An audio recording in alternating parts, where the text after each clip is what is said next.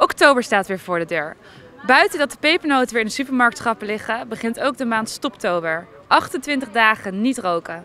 Wat zou jij een maand lang willen laten staan? Wat snoepen? Kunt u dat niet laten? Nee, dat vind ik wel heel erg lekker snoepen. Ja. Suiker in mijn koffie te doen. Doe je veel, doe je veel suiker in je koffie? Niet veel, maar toch wat. En daar baal ik van. Maar Ga je, daarmee, ga je daarmee stoppen morgen? Zal ik het proberen? Durf je de uitdaging aan? Ik durf het. Hoe lang moet ik stoppen? 28 dagen. 28 dagen. Dat is lang. Maar ja, ik wil het wel proberen. Ja, ik denk eh, snoepen. De pijn die ik heb. Heeft u zoveel pijn? Ja. Ja, behoorlijk. Met eten. nee hoor. En met roken, want ik rook. Zij rookt. Gaat u het aan, de uitdaging? Ik, eh, ik wil het, maar ik vind het heel moeilijk. Klagen doen we al genoeg in Nederland. Chips. Is dat een verslaving?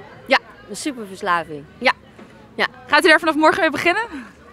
Nee, nee. PlayStation, denk ik. Ja, is dat een verslaving, PlayStation? Ja.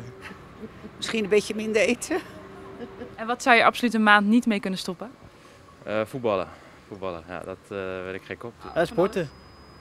Ik ben wel een sportfreak, dus ik zou echt eh, niet kunnen stoppen met sporten. Mijn hondje uitlaten. Dropjes. Helemaal verslaafd aan dropjes. Mm, mijn kinderen zien. Dat is ook wel lastig, denk ik. Heel lastig. Moeten we eerlijk zijn, rozeetje drinken. Rozeetje drinken, ja. Doen jullie dat eh, samen vaak? Ja. Ja, dat doen we vaak. Dus dat eh, blijft er nog in. Denk het wel. Dat houden we erin hoor.